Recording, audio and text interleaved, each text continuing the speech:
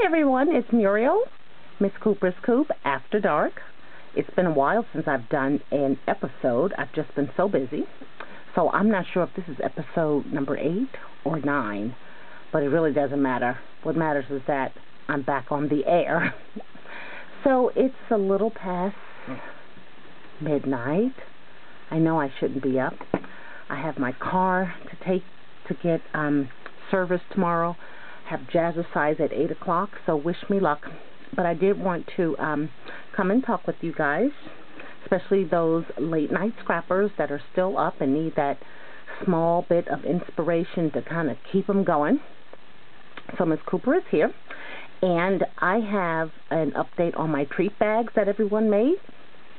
My daughter and I went to, uh, we went shopping tonight at the mall. She loves to go shopping we had um her birthday gift cards. And um she's going to be just like her mother. She just blew through through those things. You know if something came to thirty eight dollars and the card had forty dollars on it we she and I were like love we'll take two of those rings. Um so, okay so now it's thirty nine fifty. Okay so we'll take one of those straws. We just wanted to get the card maxed out. It was so funny. So while at the mall, I picked up some items from Bath and Body Works that I have stuffed in my treat bags. And if you're interested in knowing what all it can hold, let me show you. Just move the clock out the way and back the sign up a bit. So here is the Thanksgiving one that I made, and um, inside is a lotion a candle. And down in the corner there is some hand sanitizer. And now the weight is distributed and it's totally solid. The candle is like a pumpkin uh, smell. The lotion is like a warm vanilla. And the hand sanitizer is, you know, cheesecake, something along the line. I just want to keep it really festive. So that one is good. Is good to go.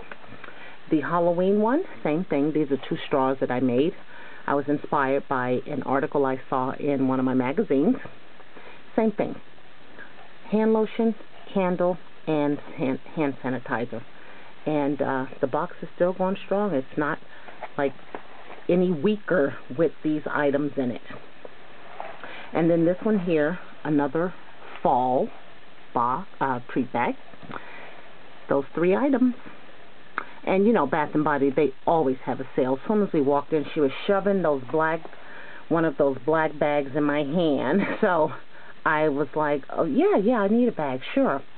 But uh, instantly knew what I wanted. I didn't want to hear about three for twenty-five dollars on the hand soap. I just said, direct me to the um, small trial size items, please. As she did. So these three are ready to go. So I just want to show you in case you were wondering what can go in them. Well, I got three nice, lovely uh, thank you gifts. And then I wanted to show you that I have been working on some chunk, um, chunky charms or should I call them dangles? I'm not sure. I was inspired by watching um, Cynthia over at my Scrappy Bookworm 1. Hi, Cynthia. Good morning. Wake up, Cynthia. Cynthia, it's Muriel. you got to wake up because I got these chunky charms that I made. I want to show you. So, okay, so I'm cray cray. I use these, um, should I say chunky charms? These are bottle cap charms. Oh my gosh. So the bottle caps are, you know, just from my stash. And I kind of cheated because I don't have a paper pad that had small um, pictures on them. So I bought these um, stickers from Recollection. And they have like a, they like a tag. They have a metal rim around them. And I, on some of them, uh, cut the rim off and then some I just kind of um, glued it within it and then I did the um, stickles with the glossy, glossy accents on the top did a little bow and then the three charms so this is a beautiful uh, glass bead that I had it comes from uh, Michaels I had a, a a bowl full of them, and I've been giving them out on RAKs. And I looked in there, and there's not one um, light color. They're all brown and black and purple and blue. So anyway, so that's the first one there, and I just put this little, um, I guess I want to call it a bee cap charm on top. Let's put that one there. And here's another one. This one has the ghost on it. Just some ribbon that Terry F gave me in a swap. And then there is the charm. And this one is just a single strand charm. So it has bead caps and pearls and rondelles and those cute little skeleton um, uh, beads that my friend Anna Yanes gave to me. So that's another one. These were fun. And here's one with the cat, black ribbon. And then here are the three um, charms that I put on. These also have the skeleton faces or heads, pink and purple, with some orange beads. That's my third one, so I'm going to be um, packaging these up and again send one to each one of my subbies. There's one that says Boo. Now there's a silver uh, bead charm there and some gingham ribbon, ribbon, excuse me, and then some more skeleton heads. On the honest, I am really, she just gave me some in a RAK, and I absolutely love them. They are so appropriate. This is a cute purple um, bead here with some green beads, glass beads that has this cool, like a silver netting over them. And then, oh, and then th these charms, these bottle caps were from Michaels. I'm sure you know, um, you've seen them. They were the ones that I bought that were, you know, 99 cents. I just went back the other day and got the red ones, but when you smash them, they have that back to them, so I just left them as they were. And here is a spider, and um, there's some ribbon there, and then there's the charms, more skeleton heads, the pink ones and the blue ones, because the spider has like pink and not, like a purplish um, on his body with a blue stripe and, and black. So that's that one there. They're so cute. Skeleton heads. And then this is a um, dangle that Anna Yanis had given to me. So she put this clip on it with this cute gingham ribbon and two skeleton heads and, and rondelle and a bead cap. Well, I liked it so much that I thought I would duplicate it, but change it just a bit. So here's my black and white ribbon, and there's the clip, and I'm using the um, skeleton head that Anna gave me.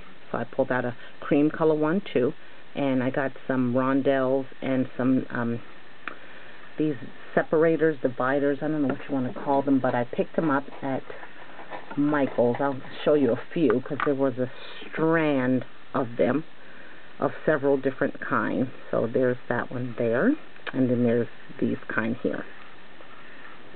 And they're a little bit larger, so they worked out perfect. Okay, so that's uh, mine, and then there's Anna's, and then there was a yellow skeleton head in the batch and same thing, ribbon and a clamp. So, this is my altered bottle cap charms and my skeleton dangles. And I want to thank you for um, sticking with me tonight. Oh, there is one more thing I want to show. Let's just put those over here. I had made some Halloween cards. And some of the stuff I used to make them um, did I put them away? I hope I didn't. I used two of the, um, goodness, where is the paper pad that? I used paper pad from Webster's Pages. And where are you, little paper pads? Mm. Oh, there they Sorry. Oh my gosh, it's just been one of those, oh, one of those days. Okay, so here is one paper pad, the Treats, Tricks and Treats, and this is by Pebbles. Picked this up at Marshall's. And then these here kind of gather them together, are from Webster's Pages. I'll get to the front and you can kind of see what it looks like. But I just use a combination. Oh, goodness. Here we go. Sorry about that. Just a little disheveled, and I thought I had it together here. Okay, so that's that paper pad here. And I got that uh, when I ordered the um, Webster's Pages warehouse sale. This had came in it. Um, and it just wasn't nowhere near Halloween, so I just kind of put it away. And then I was looking in a magazine, and I saw that they had referenced a Webster's Pages uh, Once Upon a Halloween collection. Ding, ding, ding, bell went off. So, these are the two that I use to make these cards. And I use some of my favorite trim from Craft Supplies 1. Looks like this. The cute flower trim.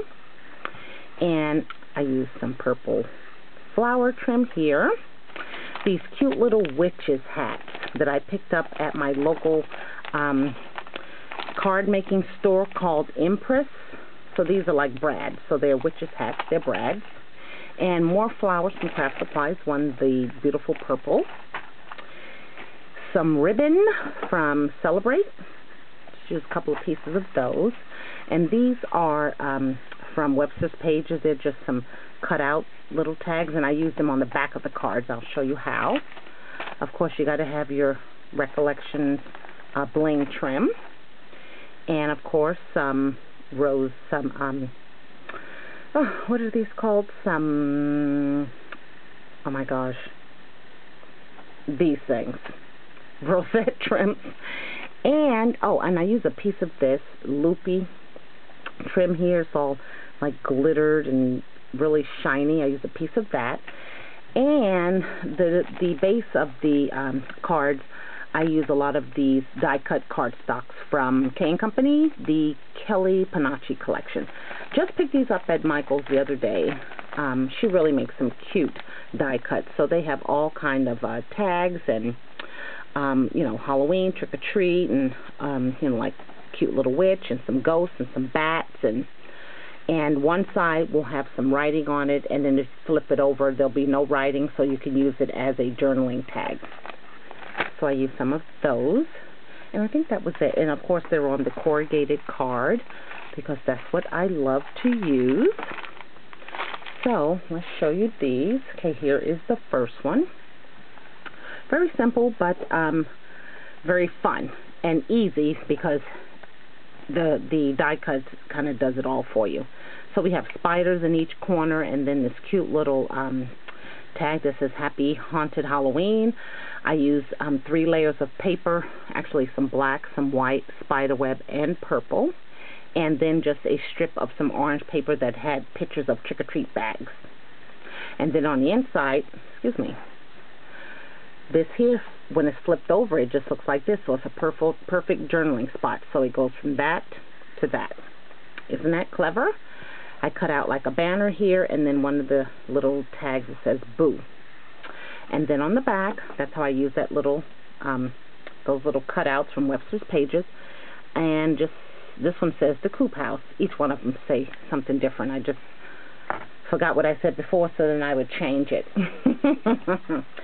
and then here is this one here. Um, beautiful piece in the middle here that says Happy Halloween. I did a little flower cluster here with some craft supplies.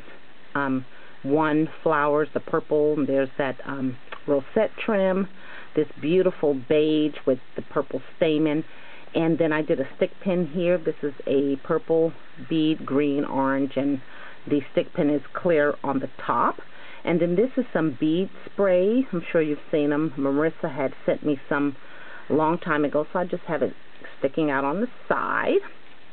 And then you can see the uh, bling trim. And this cute little metal embellishment that says boo I believe that was in a RAK that I got from um, excuse me Dakota Dawn. I believe her name is Diane. And um, I found that and I thought this is perfect. So I just stuck her there. And then on the inside there it is there. I'm just using some of that purple trim some Webster pages and then this um, had a print on it but then I just layered it with this die cut. the other side has some wording on it, and then a cute uh, making memory Brad. And then on the back, there is another one of those little uh, sayings, and here I signed my name. I told you I was just doing different stuff each time. Okay, now the, excuse me, third one is this one here. It has, if you can see those two ghosts. I tried to highlight them with a pen on the outside so they would kind of stand out because they're up against beige polka dot paper. You know what I was thinking. But they are wearing the witch's hats. And this background paper is, this is the Webster Pages um, paper. So this one here started with the uh, green polka dot background, then I layered it with some orange, and then the uh, cream polka dot. And here's a cute little die cut. Of course, when you flip it over, that's where you'll be able to do your journaling. There is the Craft Supplies one trim, and then I just pulled out some really small green flat back pearls that I had in my stash. And then there's that curly loopy, you can kind of see it there, that loopy trim and then on the inside I just uh, cut out a piece of the um, paper that had lots of words on it. There is um, a Happy Halloween little die cut and a Making Memories Brad there. Then on the back, that one there says Miss Cooper's Coop. And then the last one for your viewing pleasure is this one here. And again, they were easy because of those die cuts. So there is the Witch Girl. And this started out with some white paper that I did some um, stitching kind of uh, like dash lines, dot, dot, dash line, dot, dot, all the way around. And then there is uh, two one of the pattern and then one of the black solid with some of the bat ribbon in between. And then I placed her on some um, background paper here, three little pearls, flatback pearls. There's the pumpkin, and then it had a keep out sign, so I just put some of those making memory brads, and then just kind of raised it up a bit here. And then there's that other uh, die cut with some bling trim. Very simple, but the colors are just pow. And then there's the inside. This is uh, Webster's Pages uh, paper of a house. And I just took two of the tags from the two of the die cuts, put one on top of the other, and then popped it up a little bit. It says Happy Halloween. If I need to do a sentiment, I can do that right there. And then on the back, and that one says Miss Cooper's Coop also. So that's my four cards. You saw my three baskets, and you saw my um, altered bottle cap charms. So that's all Miss Cooper's Coop has for you on this episode. But if you're still up and you still have a little wind in you, then I'll be back with a haul that I did from my local scrapbook store, The Mad Scrapper. Take care, everyone.